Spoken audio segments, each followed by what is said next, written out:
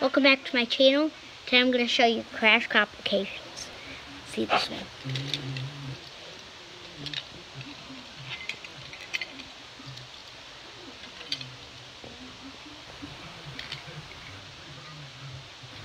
This relapse day a wreck right here on turn number three in this race.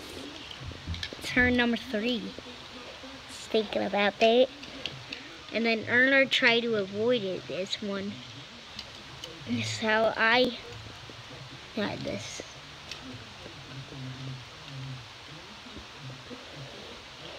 Okay, let's try some more. Right here. Look at this crash. Squish just took us. There, look at that.